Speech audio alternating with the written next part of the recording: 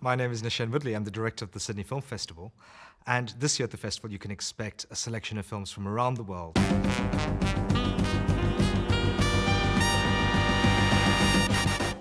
Bacurau is a new film from the Brazilian filmmaker Kleber Mendonça Filho, uh, who's been at the Sydney Film Festival before, most recently Aquarius, which actually went on to win the Sydney Film Prize. This time he's co-directed a film with Juliano Dornelles, and it's an incredible film. It's a film that's part politic parable, magic realism fable, and an explosive genre film to boot. So it's a film that goes in very surprising directions, and I think people are going to be quite stunned when they walk out of that cinema. Sacha Polak's Dirty God is really an incredible film. It's a film set in England. She's a Dutch director, and it's her first English language film. It's about a young woman who's recovering from an acid attack, which is obviously an incredibly traumatic thing to go through. But it's a film about independence, about sexuality, about someone finding themselves once again after a traumatic incident. And it's filled with resilience and power, and I think it's. Uh, a, a film that's very striking with a beautiful, beautiful performance. Bellbird by Hamish Bennett. This is the first film, and we're going to present the film as a world premiere at the festival. It's from New Zealand, and it's a very delicate, beautiful film about a farming community in rural New Zealand and how a community comes together after a loss. It's told with a warm humor. It's a very gentle film. It's one that I, I really adore.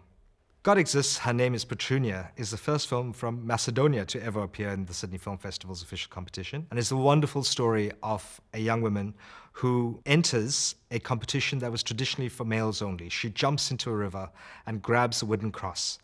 Uh, the town goes absolutely insane at this. They feel that she's stolen the cross, that a woman has no right to participate in this competition.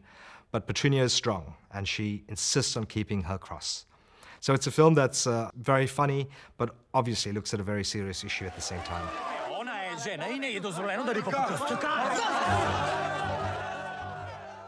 We present Hearts and Bones by Ben Lawrence as a world premiere.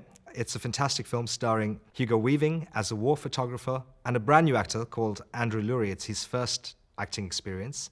And it's about the meeting between a war photographer and a refugee. And it's a mysterious film that looks back at an incident from many years ago that could deeply affect both their lives. Never Look Away is by the German director Florian Henckel von Donnersmarck, who made The Lives of Others, the Oscar winning film that went on to be a huge success all around the world. And this time, again, he looks at German history, this time three eras. And the result is a phenomenal love story and a wonderful example of how the political can have such a deep, long lasting impact on the personal. Pedro Almodovar's 21st film, Pain and Glory is probably his most personal yet, and wonderfully played by Antonio Banderas, who plays a character who's very much like Pedro Almodovar. And the film looks at love, at art, at cinema, at family, and I think it's a film that makes you swoon in the way only a Pedro Almodovar film can. No ha sido un buen hijo, hijo mío. No. Mirrah Foulkes' Judy and Punch premiered at the Sundance Film Festival. I was at one of the first screenings of the film and was together with an audience that completely didn't know how to react at certain moments. It's a film that really surprises at every turn. It's incredibly funny. It turns into a feminist revenge tale. It's a film that's kind of out of time in a way. Uh, you're not quite certain where it's set and when it's set, but it's brilliantly funny and with fantastic performances by Mia Wasikowska and Damon Herriman. Bong Joon-ho was at the festival a few years ago and returns now with a Korean language film called Parasite. And it's a film that I hesitate to say anything about because it's so surprising. But what I can say is that at the very start of the film, you see a family that's very poor and you meet a family that's very rich. And these two families are going to intersect in the most unexpected way.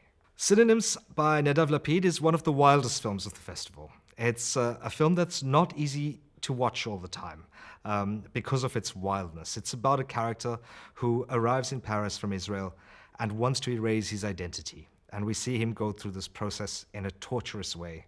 It's a film that's funny in parts, disturbing in others, and one that you'll not easily forget. Tu connais qui comme français à part nous deux Céline Dion.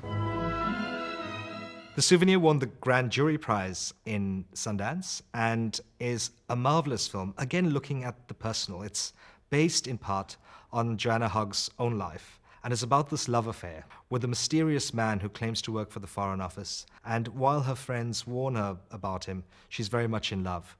but gradually the true story emerges.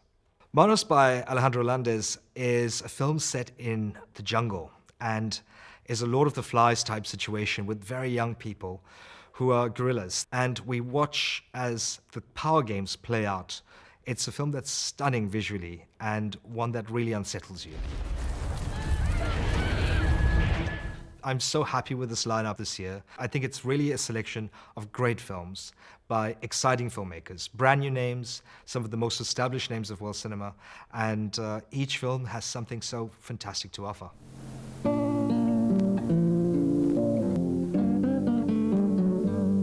Thank you so much, and see you at the festival.